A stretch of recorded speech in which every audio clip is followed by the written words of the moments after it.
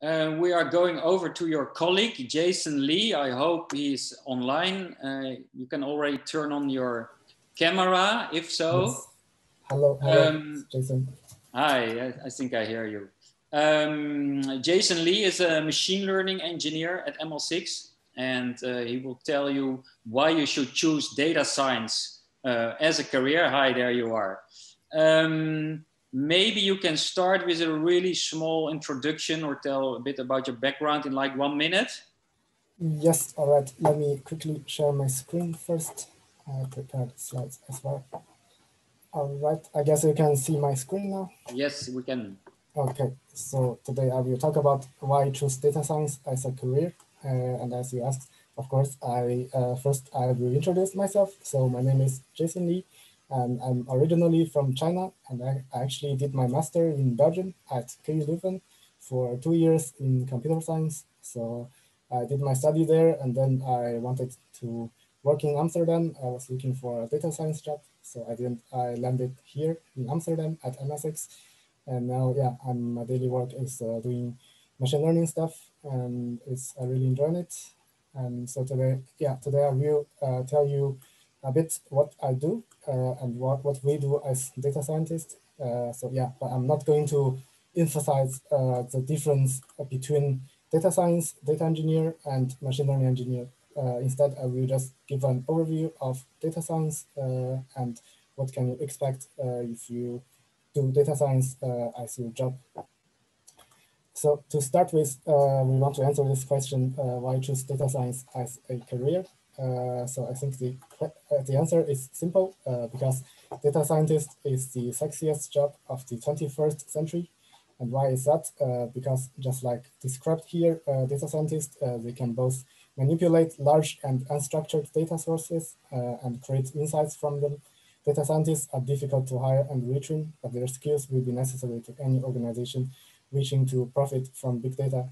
So as you might noticed already, uh, nowadays we are doing a lot of uh, cool, uh, cool stuff. Uh, there are a lot of uh, advanced technologies leveraged by big data, and these are actually really exciting. yeah, they could be also very challenging, but they are really cool topics. and yeah, doing this kind of job is very challenging, but very interesting meanwhile. So when you get a data science job, uh, it's actually different people uh, think uh, in different ways. So the society thinks uh, you're building some uh, cool robots, uh, and indeed they are robotics, and we do do some, for, for example, reinforcement learning for robotics. yeah, we do control robots, but we are not on a Terminator level yet, and we won't see next Skynet in few years. so that's not a big issue now. And what your friend will think is probably that they think you are really a geek, you know a lot of mathematics, uh, so you think you think you are a genius in doing all this uh, kind of hard to understand stuff, uh, but actually, yes, you do need some uh, math fun fundamentals such as calculus, linear algebra, or probabilities, statistics. Uh, but I think you don't have to be on a master level. Uh, you do need to know the reasons behind the theories behind, uh, but you don't have to master mathematics if you want if you want to be a data scientist.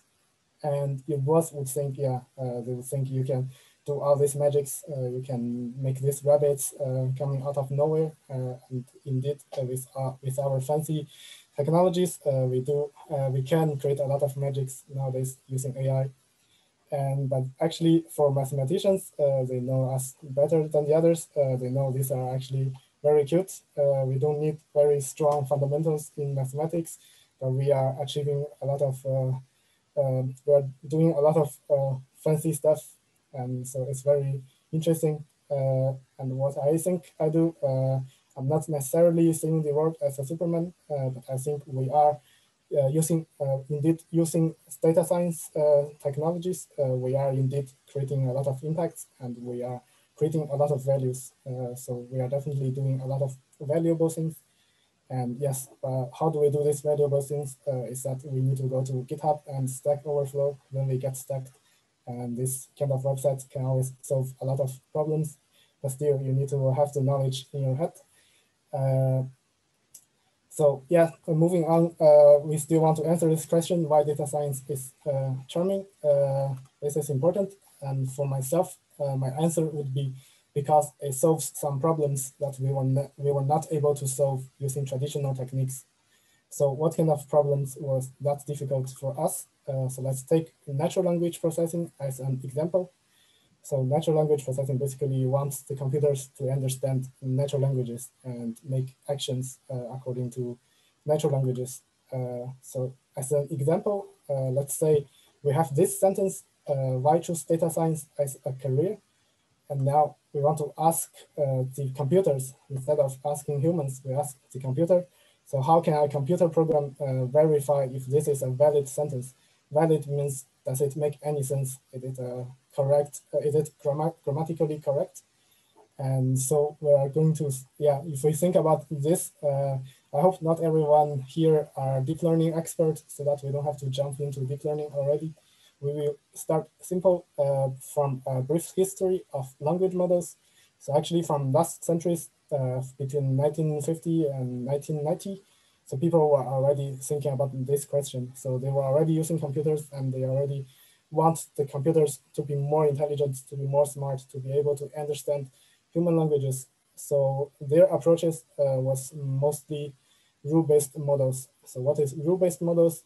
So basically rule-based models, you really want to create a program that can analyze the sentences, can split it into different terms, different literals, and to really, for example, build a parse tree to really understand the structure of this sentence. And then you can uh, valid it. Uh, you can validate if it's a, a valid uh, sentence. But actually, yeah, so actually they were doing a lot of techniques such as grammatical analysis, syntactic analysis, semantic analysis. These were all needed uh, and these were implemented uh, based on rule-based systems. But actually, there weren't too many breakthroughs uh, used in this direction because there were certain difficulties for example, in order to cover 20% of real world sentences, you need more than 10,000 rules. And actually there are also conflicts exist between rules. So more rules are, are needed if you, depending on the context of the uh, sentences. So that, that made it uh, more and more complicated. Uh, so people uh, didn't really, uh, so people didn't uh, make a lot of achievement on this path. So some people were thinking, okay, maybe there were we were doing it wrong. Uh, there could be other solutions. Uh, so people were uh, thinking about, okay, what if we don't analyze the rules of the sentences? Instead, we can simply calculate the probabilities of seeing these sentences. So as an example, uh, if we have the sentence, the cat sat on the mat, uh, we can tell, okay, 95% this is a valid sentence because we've seen it in a book, uh, we've seen it in many places. So probably this is something being spoken by human. So we can say, okay, this could be a, a grammatically correct sentence. And so we can, so basically the objectives uh, becomes that uh, we want to calculate the probability of seeing this sentence, why choose data science as a career and we can uh, do a bit more math, uh, not as not as much as mathematicians, uh, just on data scientist levels. Uh, so we just if we want to if we want to get this probability, uh, you can first calculate the probabilities of seeing y, and then you multiply it with the probabilities of seeing truth after y, and then you multiply with uh, the probability of seeing data after y truth. And you do a lot of these multiplications, and at the end you will get this probability. You can even make it simpler uh, by just um, uh, take, uh, by just getting the probabilities of adjacent word pairs. So you don't look at the whole sentence every time. So it makes it way simpler. you can easily calculate these probabilities by counting the word pairs in the corpus. So what is a corpus? A corpus is a large text uh, data set. Basically, it can be like a Wikipedia. So that's, that's a, there's a lot of valid sentences that you can learn from so people were switching to this approach and they actually beat most of the rule, most of the rule-based learning approaches. So they started to realize maybe we don't need to uh, understand what's behind uh, natural language, but instead we can look at the probabilities, we look at statistics, we look uh, how frequent it can happen, uh, we look, uh, we just uh, imitate how humans speak. So this became the new direction until now. so from 20 from 2012 till now, as you know, there's deep learning coming up. so what is deep learning? I can say it's machine learning methods based on neural networks and big data. So basically, uh, it wasn't something new. Uh, neural networks was already proposed a uh, long time ago, uh, but recently, because we have more computation powers, uh, because we have more GPUs, uh, so with this development, we can really gather more data and use more data to train our neural networks. So basically, we can train complex end-to-end -end neural network models to fit the data distribution.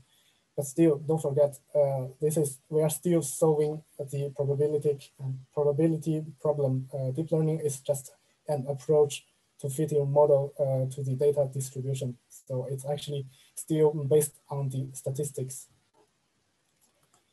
So after all this development uh, with deep learning, uh, we have a lot of uh, cool applications nowadays, such as machine translation, sentiment analysis, chatbot, uh, text generation, you name it. Uh, these are these are even just the NLP applications, and they are more with computer vision or yeah other domains as well. So yeah, these are really cool. Uh, so if you are doing data science job, uh, you might be involved in developing these applications. And yeah, I guess uh, it's really, at least it's very charming for me. that's one of the biggest reasons why I choose to do this. Uh, it's also very challenging at, at the same time. And then we come back to this question again and again and again. So now I'm thinking, okay, maybe I don't have to answer this myself uh, since we are we have smart computer programs nowadays and we can ask them to answer this question. So I asked GPT-2 uh, why choose data science as a career. So he answers, so data science is about using data to help solve problems. And in today's world, the best job is often in the data science field. As a career, data scientists are more likely to be paid better than those in other industries, and they have more opportunities to advance their careers. And it's actually very interesting that it gives this answer because you know this answer is based on the probability, based on the statistics, and based on the language, based on the sentences that people really speak every day. So it's kind of it kind of rivals uh, the general idea of uh, human of ourselves. Uh, yes, and it's more honest than me because I didn't want to cover the money topic. Like indeed, uh, sometimes, yeah, you as GPT-2 said, yeah, you might get better paid. Uh, so that's uh, also a good thing. But you know, money doesn't come out of nowhere. Uh, there is a reason you can get a lot of profit because by applying data science, you can really solve complex problems and you can really create a lot of values and hence there's a high demand in the job market for data scientists or data engineer, machine learning engineer uh, as well. And if you look at the AI industries, uh, there are way too many companies doing this nowadays. Uh, uh so it's not, so actually I think AI industries is not like a specific companies doing some AI research. Instead, it's more like a general technology that can be applied to every everywhere to, in any domains. So for example, uh, logic, compliance, uh, customer management, finance, security, industrial manufacturing, yeah, whatever. Yeah, all these companies, they can leverage their business, they can gain more profits uh, by applying data science. So it's becoming more and more useful. It's not, it's not only about uh, specific techniques that you do some research uh, in, in a specific field. So what actually is data science job uh, why it's different with uh, traditional software developers. So for traditional software development, what you do is you can develop really cool uh, applications on your laptop or on your phone. it can be really fancy. and you can also build, for example, a website, shopping online, whatever. but all these programs, they are implementing a certain logics that you predefined. Uh, so basically, they have uh, they can expect uh, certain inputs and they are just they are just sophisticated uh, logic systems. At the end, they will get the input and give you the uh, expected output, uh, and that should work correctly because the logic should be correct. And then you you can do these functions basically. But for a data science developer, uh, what you do is, uh, I would say you are trying to make uh, computers smart you're trying to make computers solving some problems that human can solve. Uh, for example, if you if you can detect cars and pedestrians on the road uh, on the street, so you can probably build uh, auto-driving cars. So and also you can analyze the voice and do some voice recognition, and then you can have some something like Siri on your phone. So these are all uh, they are trying to make computers uh, uh, trying to make them understand human and do some human jobs. Uh, it's more than logics that we define, uh, and they do this human jobs based on the statis statistical models that we built, uh, which is neural networks for deep learning. And more specifically, if you do data, data science job, you can either be a researcher or an engineer.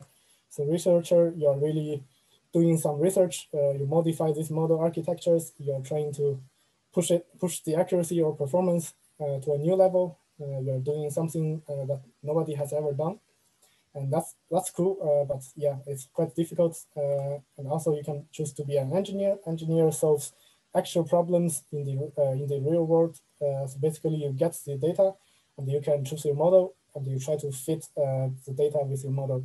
You try to find uh, the best model to solve these actual problems and create values. And what we do at ML6, uh, I hope already mentioned, uh, so we are a consultancy company, uh, so we work for our customers. So our customers, normally they throw us their raw data, and they also throw us a bunch of questions, uh, and they want to solve some questions, or they want to get more values uh, from their raw data. And so what we can do is first we can analyze and transform this data. Uh, if it's big data, we can also use some cloud plat cloud platforms such as uh, Dataflow, uh, yeah, to process big data. For, for small data, yeah, small data, you can just do it locally or whatever uh, you like. And then you get the data set. So data set is more like structured data that you can further analyze for, or train your machine learning models on top of it. So then what we can do as a machine learning engineer, we can pre-process the data, choose ML models, and we can fine tune the hyperparameters. So basically we want to find the best match, uh, uh, the best matching model and try to fine tune the model to fit this data set to make it working well. And we get the ML models. And at the end, when you have the model working, you can optimize it. Uh, for example, you can use TensorRT or some uh, nowadays uh, fancy uh, technologies to prune the model, to optimize it, to make it smaller, to make it faster. and then you can deploy it. normally you can deploy it on the cloud or also just you can just send the program and as long as it's working correctly, then you are good. then you will have happy customers normally. And actually, you, you might already notice I have different colors here. So because we have two different roles, so data engineer they try to solve the, uh, they try to analyze and transform the data, and they can also take care of the deployment of the models. But for ML engineers, uh, we really focus on the model. Uh, we really tune the model and uh, yeah, to study the models and to fit the data into the model. We build the model. But uh, actually at ML6, uh, we sometimes as ML6 agent, we need to do all of these steps because machine learning is not only about processing data or training the model, uh, you should consider it as a whole process. And you, you should be familiar with all these steps uh, to be successful in your projects. And that's it. Uh, hope it wasn't too long. Uh, if you have any questions. Yeah, thank you, Jason Li. Right in time. Thank you very much. I think you gave the attendees uh, great insights in what it's like to be uh, a machine learning engineer very interesting uh, to hear about this. Um, let's see, we do have a question from one of the attendees, which is um, someone has um, professional experience for six years in Java and is currently doing a, a master in data science. Do you think that this experience with Java like counts when you're applying for a job as a machine learning engineer or maybe as a data engineer? Yes, I think it's definitely helpful. Uh, I mean, if you want to be a data engineer or machine learning engineer, right, uh, you first need to be an engineer. Uh, so I think you need you really need to know how to program, and you better know how does uh, the system work and how how yeah you, you should know this simple these basic components instead of just knowing how to use TensorFlow or pandas or numpy. I think good foundations are very important. Uh, maybe you feel like you are in lack of some data science knowledge uh, but you can i think you can easily learn them uh, and then with these uh, firm foundations on these programmings i think you can really get a good position or yeah, you can really do it well, I believe. There's definitely a benefit. Do you also hire like graduates or do you prefer people or do you hire more people which already have uh, work experience? Uh, we have a lot of graduates. Uh, I was a graduate uh, one year ago, so uh, okay. yes. So we are really uh, we have young team and we are really passionate. I would say people here, yeah, all my colleagues, we are really uh, fans of uh, technologies. Uh, they are enthusiastic. Right. If you are enthusiastic, yeah, of course you can get a similar job, or yeah, you enjoy working as a data scientist. Okay, thank, thank you, Jason Li. Thank you very much.